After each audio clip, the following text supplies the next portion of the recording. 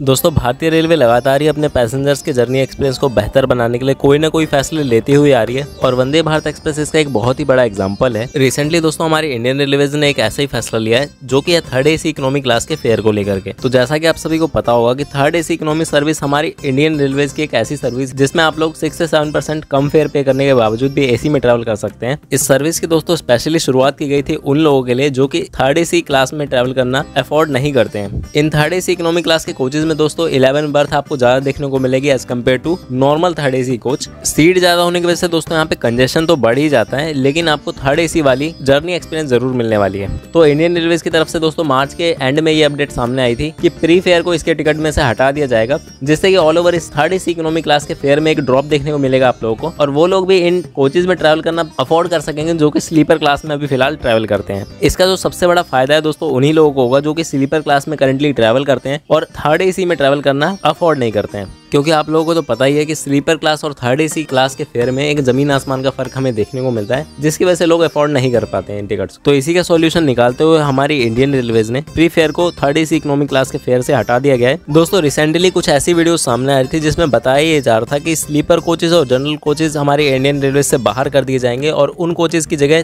Third AC economy coach ले लेंगे। तो इस चीज़ को दोस्तों मैं आप सभी को एक बहुत ही शॉर्ट में एक्सप्लेन करना चाहूँगा। दोस्तों इंडियन रेलवे करने ये वाली है कि सबसे पहले, जैसा कि आप सभी ने जाना कि थर्ड एसी इकोनॉमी क्लास के जो है फेयर ड्रॉप कर दिए गए हैं। तो जैसे जैसे स्लीपर कोचेज वाले लोग थर्ड एसी इकोनॉमी में ट्रेवल करना प्रेफर करने लगेंगे तो स्लीपर कोचेज की जो संख्या है ट्रेनों में से, वो धीरे धीरे करके कम कर दी जाएगी। अब ऐसा नहीं होने वाला यहाँ पे कि एक ही दिन के अंदर सारे स्लीपर कोचेज किसी ट्रेन में से हटा दिए गए और पूरी ट्रेन ही जो है एसी वाली हो गई। ऐसा बिल्कुल नहीं होने वाला है। ये एक बहुत ही लॉन्ग टर्म वाली चीज़ है। लेकिन दोस्तों, इस चीज़ की पॉसिबिलिटी बिल्कुल बनती है कि इंडियन रेलवे आगे चल के अपने रेलवे नेटवर्क से स्लीपर और जनरल कोचेज को बाहर करने वाली है, क्योंकि स्लीपर और जनरल कोचेज में दरवाजे और खिड़की खुले होने की वजह से एरोडायनेमिक डिस्टर्बेंस बहुत ही ज़्यादा होता है इन कोचेज में, जिसकी वजह से ट्रेन को एक सही स्पीड पे मेंटेन करना बहुत ही ज़्यादा मुश्किल हो जाता है। यही एक सबसे बड़ा रीज़न है, जिसकी वजह से लगता है कि इंडियन रेलवे आगे चल के अपने स्लीपर और जनरल कोचेज़ को अपने रेलवे नेटवर्क से बाहर करने वाली है और उसकी जगह थर्ड एसी इकोनॉमी कोचेज़ लेने वाले हैं। हालाँकि दोस्तों, इंडियन रेलवे की तरफ़ से दो साल पहले भी ऐसी बातें सामने आ रही थी कि स्लीपर और जनरल कोचेज़ बाहर हो जाएँगे रेलवे नेटवर्क से,